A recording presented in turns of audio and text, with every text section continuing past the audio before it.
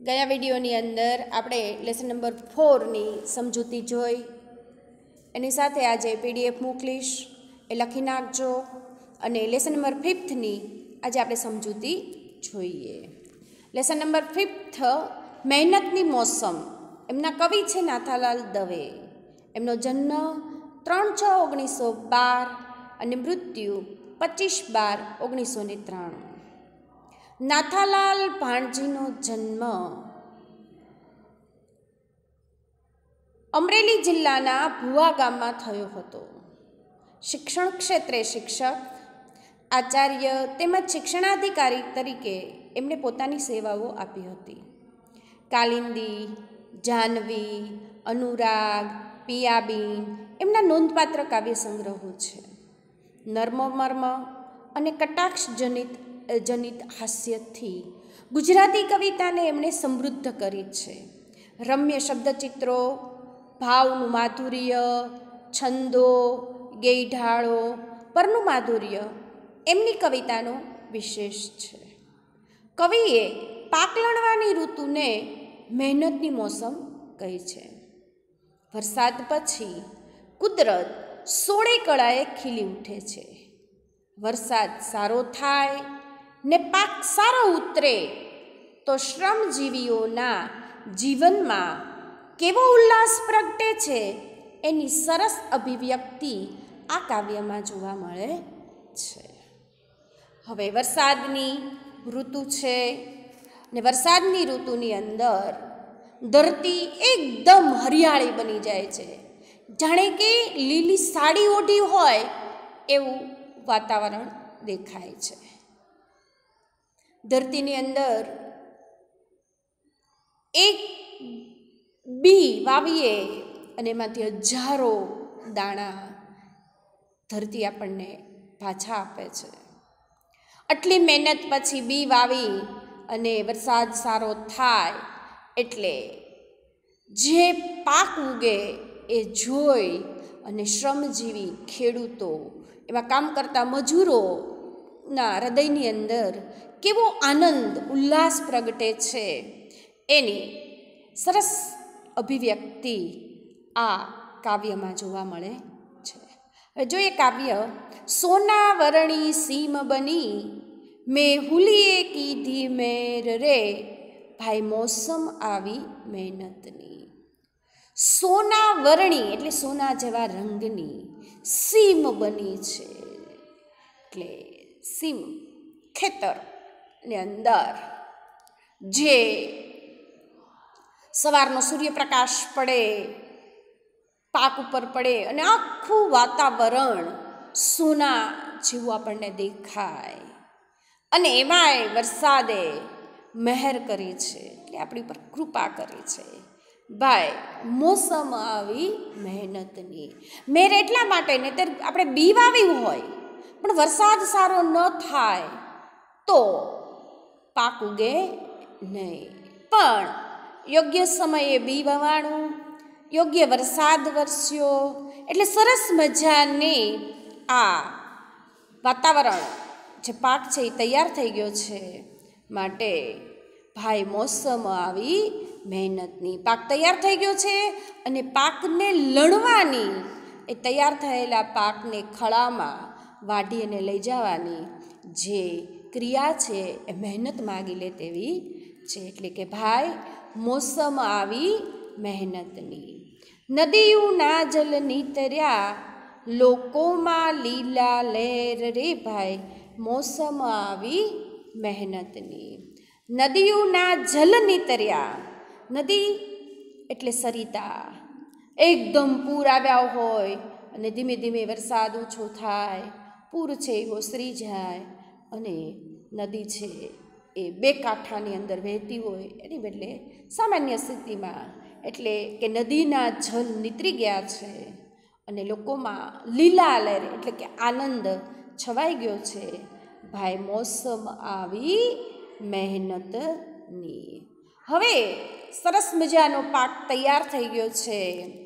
તો પાકની અંદર લીલો કંચન બાજરો ને ઉજળો દૂધ કપાસ રે ભાઈ, મોસમ આવી મહેનતની. લીલો કંચન બાજરો, એટલે બાજરો ઉગી ગયો છે, એકદમ લીલો એવો દેખાય છે. એની સાથે સાથે કપાસ વાવેલો છે. કપાસ પણ કેવો છે? ઉજળો, એકદમ દૂધ જેવો સફેદ. ને ભાઈ, એ બધાને લણવાની ઋતુ છે. પાક તૈયાર થઈ ગયો છે, એટલે એને લણી લેવો છે, એટલે મહેનતની મોસમ કીધી છે. જુવાર લોથે લુમે ઝુલે, ઝુમેને હૈયામાં હુલ્લાસ રે ભાઈ, મોસમ આવી મહેનતની. જુવાર પણ એકદમ એના ડુંડામાં એટલા બધા દાણાઓ છે કે લૂમે ઝૂમે પવનની અંદર એ ડુંડાઓ હલે છે અને એ જોઈ અને હૃદયની અંદર આનંદ થાય છે. ભાઈ, એને લણવાની મોસમ આવી ગઈ છે. ઉપર ઉજળા આભમાં કુંજડિયું ના કિલ્લોલ રે ભાઈ, મોસમ આવી મહેનતની. ઉપર ઉજળા એટલે એકદમ સફેદ, આભ એટલે આકાશની અંદર. કુંજળીઓ એટલે પક્ષીઓના કિલોલ દેખાય છે. આ મોસમ મહેનતની છે. વાતા મીઠા વાયરાને લેતા મોલ હિલોળ રે ભાઈ, મોસમ આવી મહેનતની. વાતા એટલે વાય છે. મીઠા એકદમ વાયરા એટલે પવન. એકદમ સારા, ઠંડો પવન વાય છે.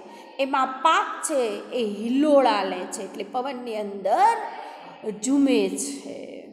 ભાઈ, મહેનતની મોસમ આવી છે. હવે કે છે, લિયો પછેડી દાતરડા, આજ સીમ કરે છે સાદ રે ભાઈ, મોસમ આવી મહેનતની.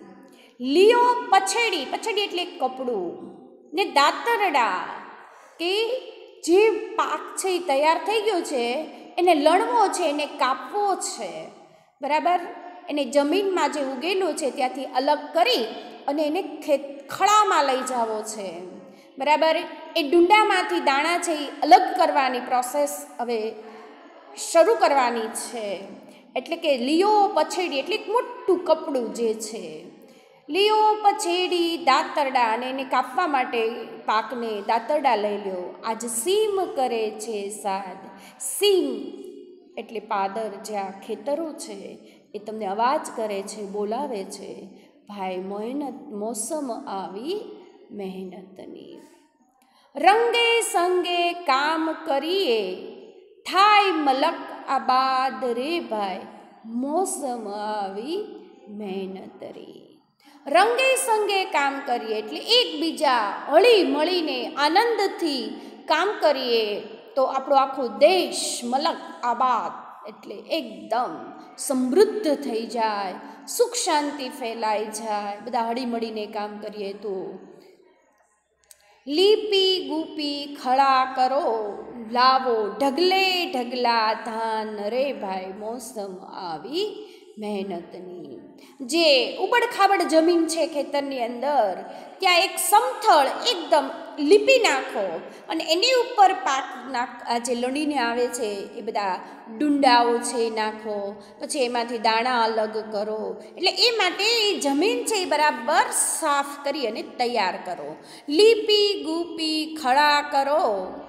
લાવો ઢગલે ઢગલા ધાન રે. એ જમીન એકદમ સરસ સમથળ એકદમ લીસી ઉબડ ખાબડ ન એવી.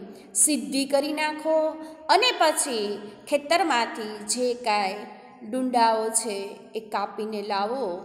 એના ખળા આખા બધાને એકત્ર કરો, એકઠા કરો અને પછી એમાંથી તમે દાણા કાઢો અને એ દાણા છે, પછી તમે લોકો સુધી પહોંચાડો, એમાંથી તમારી મહેનત બદલે તમને પૈસા મળે અને તમે સમૃદ્ધ થાઓ લોકો સમૃદ્ધ થાય, એની સાથે સાથે આપણો દેશ પણ સમૃદ્ધ થાય. મલક એટલે આપણો દેશ, આબાદ એટલે એકદમ સરસ સમૃદ્ધ થાય.